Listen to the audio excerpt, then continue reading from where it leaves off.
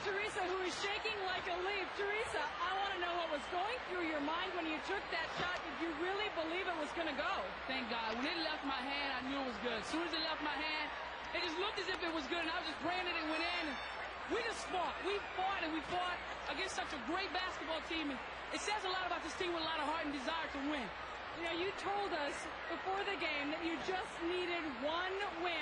now the, the stakes are, are, are even. You're back to even even Steven. It's back to even Steven.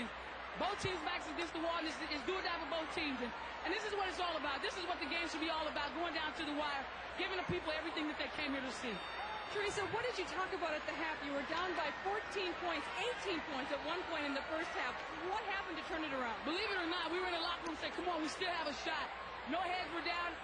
Pretty rough start for us in the beginning. And I said, I hope we don't have six points with six minutes to go.